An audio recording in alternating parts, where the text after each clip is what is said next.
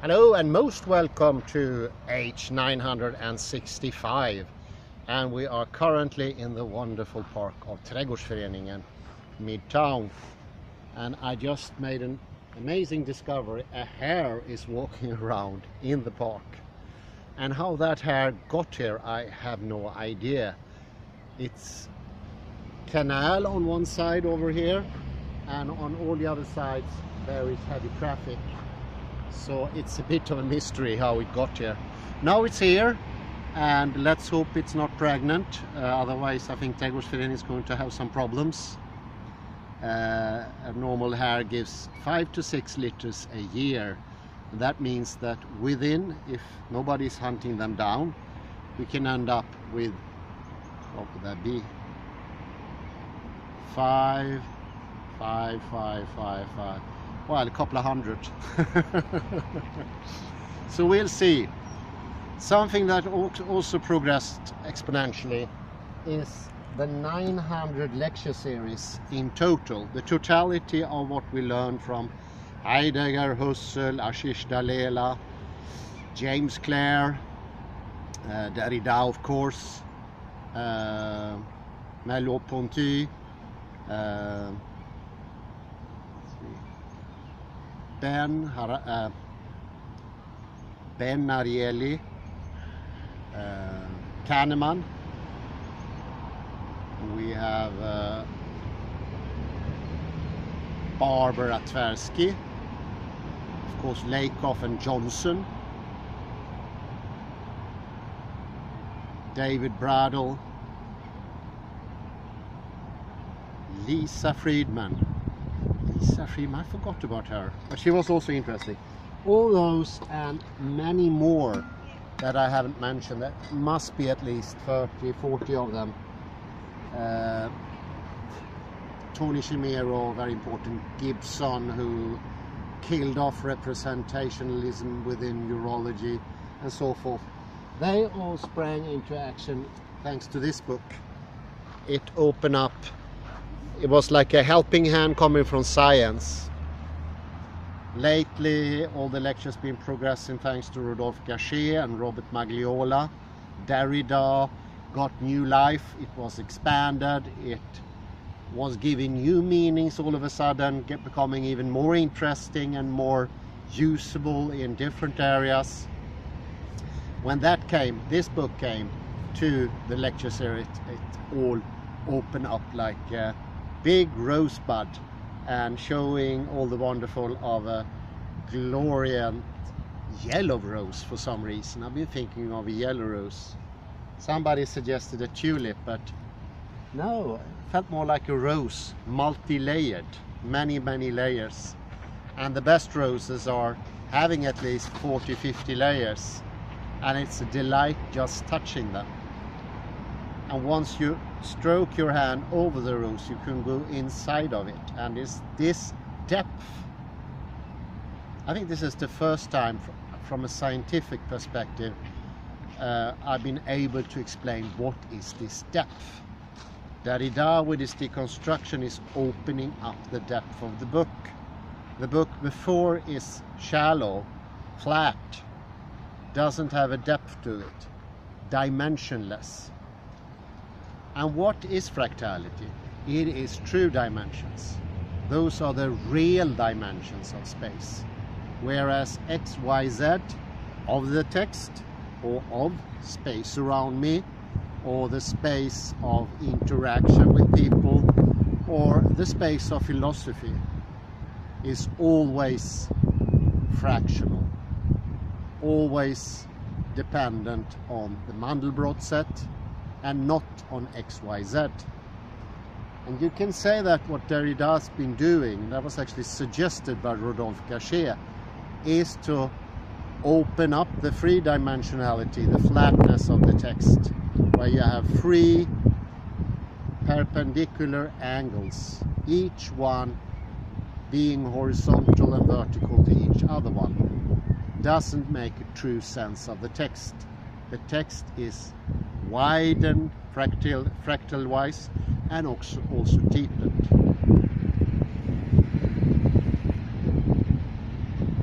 oddly enough, from this also comes movement. So you can see it two ways. Fractality inside movement is an infinite of knowledge. That's the only thing in the universe that can carry an infinite of knowledge. But it's also that, that fractality, the complexity of the text, gives the text its force, its direction. And this very force is the same force that moves us and moves vehicles that we have around us, moves the birds and even that hare I saw and the bee that just passed me, but also intentions when we want to say something. Whether what we want to say is understood by ourselves and our peers is dependent on the force, on the directionality. And we earlier mentioned that this is the prana, this is the ki, this is the chi. Something very hard to explain in Western terms and I said before energy doesn't really cope to make it understandable. Fractality on the other hand, that complexity itself is the only force because it's actually the same force that for instance the moon does around the earth when it rotates. That's fractality. So you can sort of reverse the whole thing. This is coming in later chapters but it's also something I read yesterday. Well I spent too much time reading the last day. But from Roger Penrose and Stuart Hameroff and that is that our brain mind system is working with these fractals and that is the force that makes us being able to move.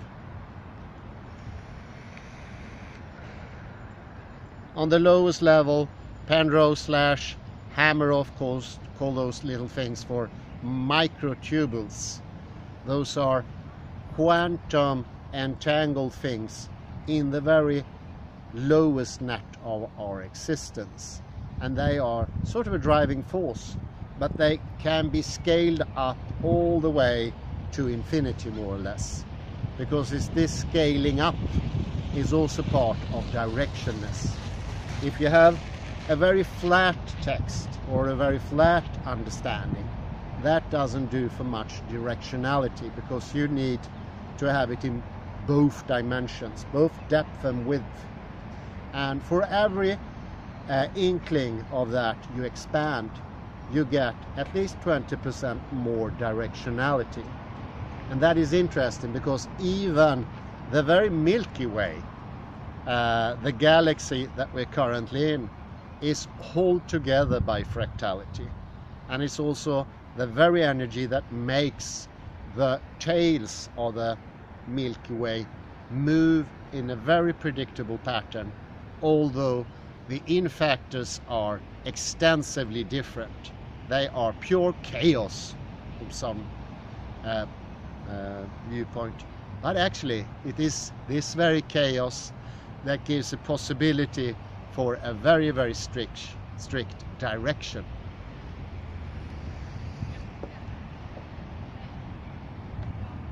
This fluidity, and this I take from David Bradel, who explained how the cerebellum is the thing that both controls or directs our bodily movements. Uh, I've been trying to study the last couple of weeks how people move differently. Some are maybe very fluid, they walk around so you can almost not hear them.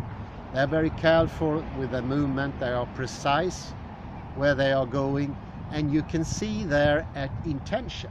It's clearly visible in their moving pattern. And then you have those who are indeterminate. They are more or less undecided, don't know where they are going. Uh, sometimes a group of people can pass them and they follow their energy. It's a little bit, if you watch uh, skiing games, there usually is a skier skier that comes first or a cyclist and he takes the wind and everyone else is following following lead and that could be an advantage but it can also be a dis disadvantage because somewhere in that process you could lose your initiative. And this is what I see with these people who are not very directed. They don't seem to have the initiative. And that initiative is the very same initiative that uh, Derrida sort of uncovers in the text.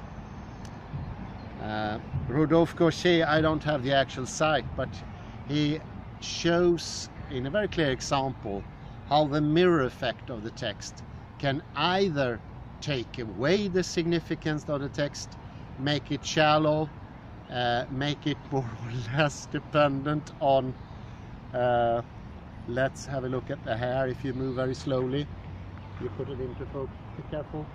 Yes. We have a big big hare. It must be a whopping 8 kilos because that's a big one. That would be the equivalent of 17 18 pounds. How it got here I don't know. Look at it. That's half a half a rood here it's actually a very good example of nature's amazing capabilities to survive even in the traffic jungle. How it got here, I don't even know. No, it's coming closer to. Let's wait for a minute. Uh, let's continue the lecture and let's get back to our hare. I'm going to name this hare Rodolphe Gasché because he appeared in the same moment I mentioned his name. Maybe there is an interesting connection here. I also took a look at Winston Churchill. He's one of those speakers who has a very elegant fluidity in his speech. When he talks, it is like his whole body is moving. You can see the tremblato coming from deep of his inner being. And that also makes the difference in the very content of his saying. This is an important conclusion Susie Vrobel does. If you're not balancing your body, that will always affect the content of the text. Because the content and the extent, what it's made of, is in a bit the real same thing. You can't have an unfluid moment, an awkward position, a lack of this initiative, and still say things that are meaningful and all of a sudden we get a new theory of meaning, so to speak. I, I do these citation marks, I don't like those normally, but the old theory is incredibly awkward. It's this idea that in epistemology you can sort of find a reason why my words or someone else's words would be true. You have to compare them to that original and the spoken words or the text is just a copy. So you, you need both the copy and you need the original out in the world. And this is very similar to the thing that Kalle is working with, uh, original Bible text and so forth. And that need to find it is because we cannot tell directly whether something is the real McCoy or not. This used to be the case. People did not ponder about epistemology in olden days they know directly if something were real because it's the complexity level that gives it. So no longer need we uh, to confine in circumstantial and awkward thinking processes to sort of find out whether something is true or not. What happens in this long process is we lose the stamina, we lose the directionality and the knowledge we get in return. It feels like a Kafkaesque process. You hand in a form, is this true? Is this an original? Is this good? And then you could be lucky to get something back after a month or two. Uh, this actually reminds me, let me quote that again, it's been a couple of years now. Uh, one uh, science fair, Kalle, my co-author, just went to the science fair recently and Richard Dawkins were here this year. Uh, I went to it, must have been something like 20 years ago, and it was in the shopping mall of central Gothenburg, not far from where I'm standing. And it was this six or seven philosophers, uh, philosophers of science, logicians, uh, sociologist, and the question was posed uh, How can we know the meaning of life? And my old professor answered, Well, that has to be calculated, and we might not know it for another century or two. That's absolutely horrid, and people even start like I didn't laugh outright, but it started to use their smiling things. This is a disqualification of your own authority. It sounded ridiculous, and it was only the other five people in the group that we were looking at, the professors, that tried to hold the cool face. How can anybody say that? It's the distance is incredible. These things people used to know directly without complicated uh, extra turnabouts, epistemological theories, reference material, or a long awkward education where you can sort of uh, gain a library in this idea that the brain is a sort of a computer where you store things somewhere and you can take them out of storage uh, using maybe uh, one of the systems, Libris, and you put them out on the on the floor and you say this is the proof for this to be true. it doesn't make any sense. Well, in a way, Richard Dawkins is, is maybe a, a li little bit more fun version of that professor. But it's the same thing. Everything he says is dependent on this very complicated theory of the egoistic gene. And if that falls, everything falls. But I would say it doesn't matter if it falls or not, because it's already attenuated to a level that makes it so little in fractality. So you don't need to disprove it. Neither do you need to prove it because it will always be lacking. It doesn't really matter. What Susie Vrobel is showing is a direct access to the truth. We don't have to go these newly made, happenstancely random ways of finding out what is true or not. We can directly perceive it. And what we need to do instead is becoming more fractal ourselves. And in the readout, it's a little bit like she makes hermeneutical reading understandable to uh, an engineer like me. All of a sudden, I understand. For me to understand something, I will have to actively project something. That will take energy. It is like our sense organs. For instance, the eye has three times as many neurons coming out of the eye than going back. That means that you have to do the seeing actively. You have to project, you have to have an image of what you want to see. And in the difference what comes back to you, in that difference, reality is uncovered. This is theia aletheia in scientific terms. We need two opposing forces to have this read off. Susie Vrobel calls that the now with a big, big N in contrast to the little now. The little now being uh, a now that takes its force from being not the present and not the future. It's made of polarities and that makes a, a very, very weak now.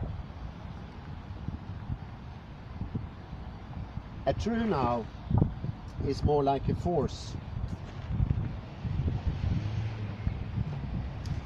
You just check the time.